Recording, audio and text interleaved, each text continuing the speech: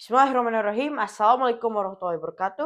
Hello everyone, my name is Abrar Fathullah El Sundy. Today I'll be talking about my essay topic, which is about rethinking technology, about AI-driven privacy threats in primary and secondary level educational environments.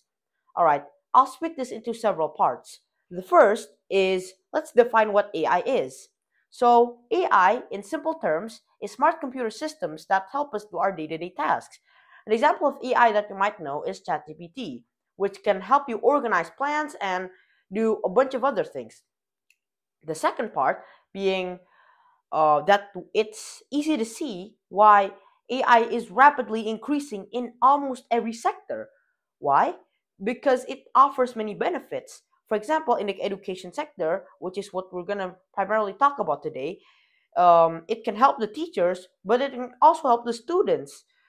The third part being there's a hidden cost to these many benefits. What are they? Well, AI driven privacy threats.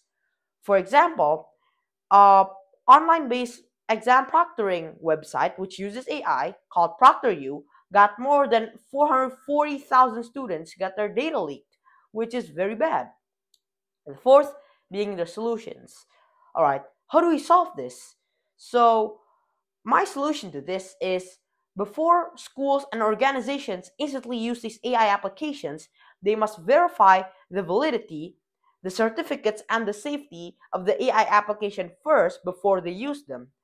The fifth is the conclusion. It's undeniable that AI usage is going to rapidly increase in every sector in the future, and it's easy to see why. However, with its rapid increase, we must also keep in mind the safety of the future. Thank you for listening. Wassalamualaikum warahmatullahi wabarakatuh.